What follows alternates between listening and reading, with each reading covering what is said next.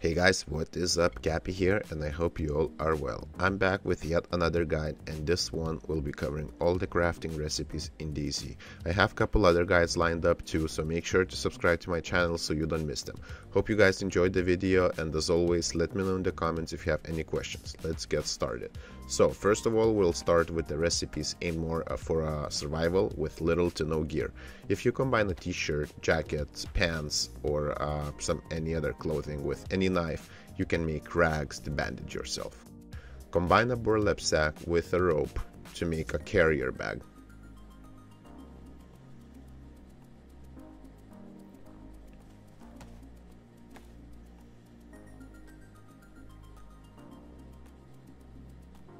Also, you can combine boar pelt with a rope to craft this bag.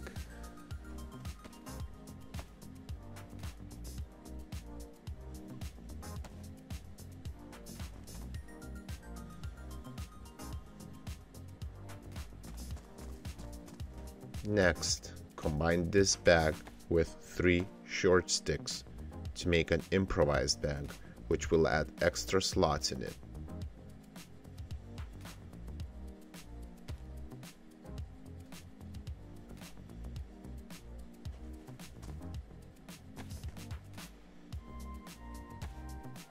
If you can't find a rope, you can craft one by combining guts with a knife or combining two stacks of six rags each.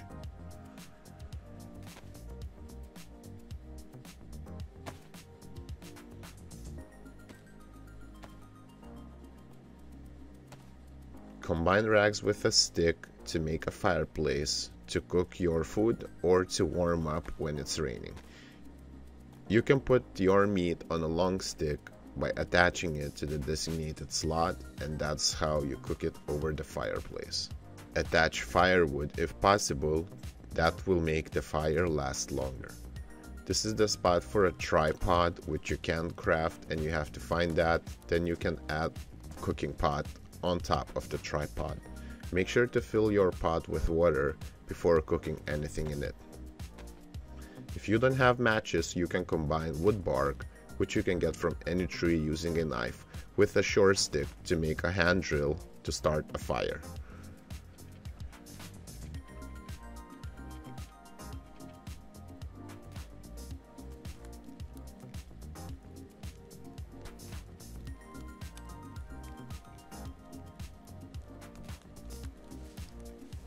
You can craft a fire barrel from a regular barrel using a knife and you will have a persistent fireplace that will stay in your base or wherever you place it.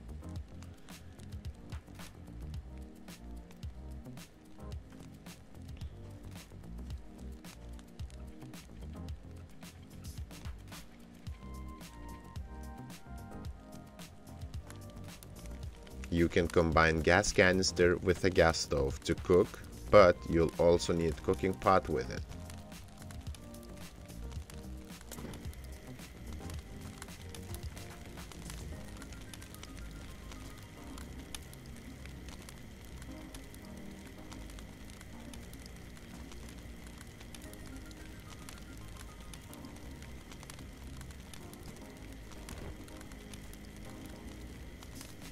You can also use gas canister with a gas lamp to create a source of light.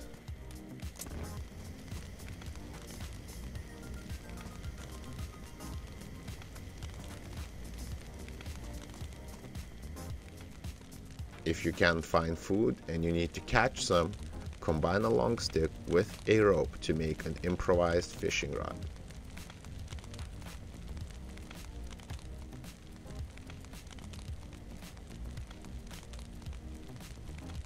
If you don't have a fishing hook, you can craft one by combining bones with a knife.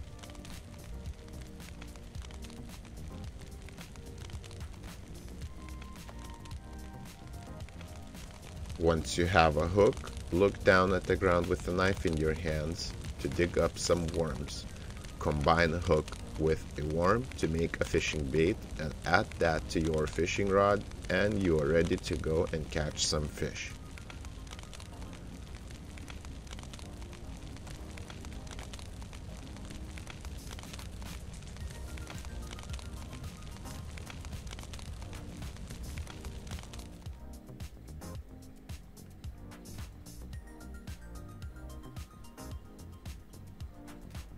Almost forgot, but you can also add stones to your fireplace to make it last longer, or you can craft a stone furnace, which is even better I believe, but it's still not persistent.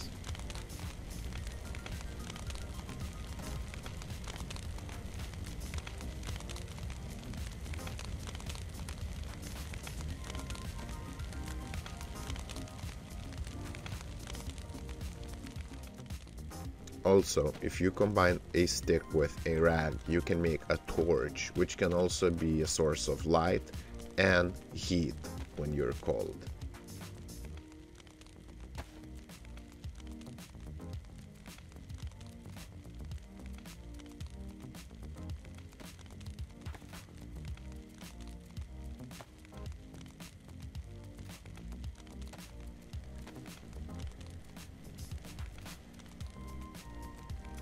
Don't forget to light it up.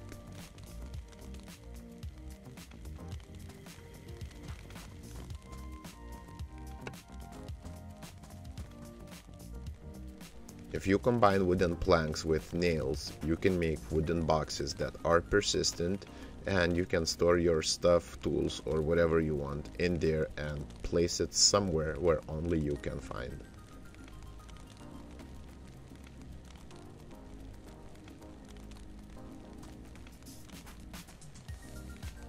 That's about it from the survival recipes, now time for some military ones.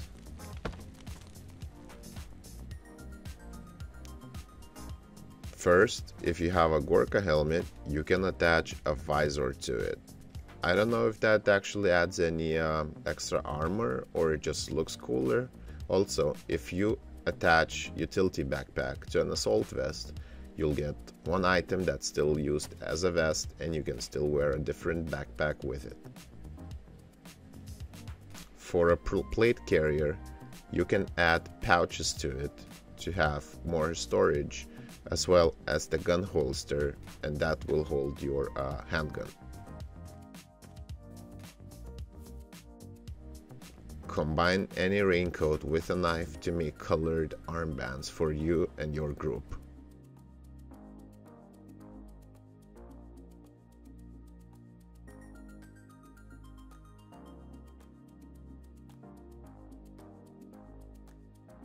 You can add nails to a baseball bat to make it more powerful and of course more cool.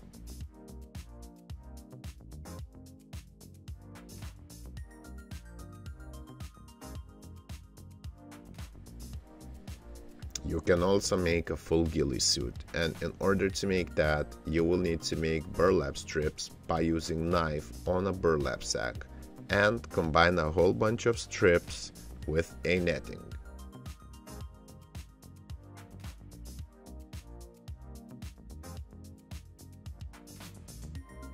Craft a ghillie hood, gun wrap, and a full suit.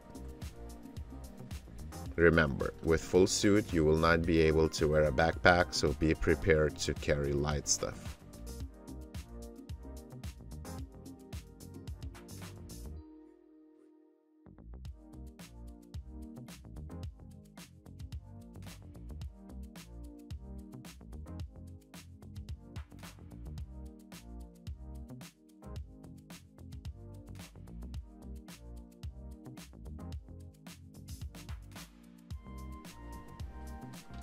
You can also craft a saline bag by combining IV starting kit with a saline bag.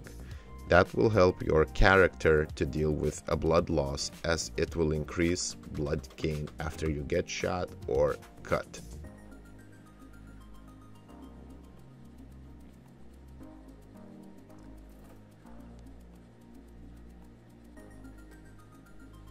Also, you can drain your own blood when healthy and infuse yourself with it when needed. For that, you'll need a blood bag and IV start kit. Make sure you only do that with your own blood or someone that has the same type of blood.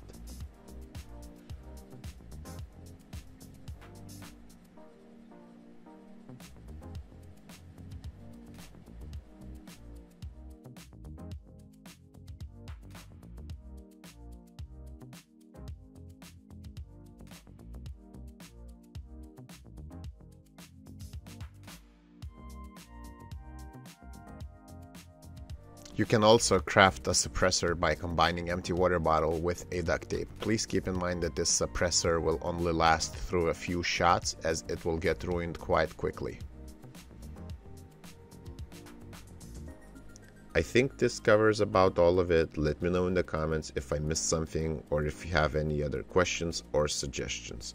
Hope you guys enjoyed the video and found it helpful and see you on the next one. Cheers!